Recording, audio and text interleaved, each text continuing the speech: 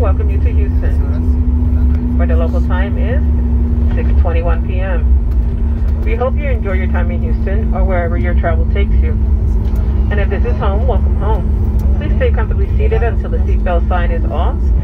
You may continue to use the charge, your phones and tablets. If you're sitting in the exit row, please do not plug your devices into the outlets.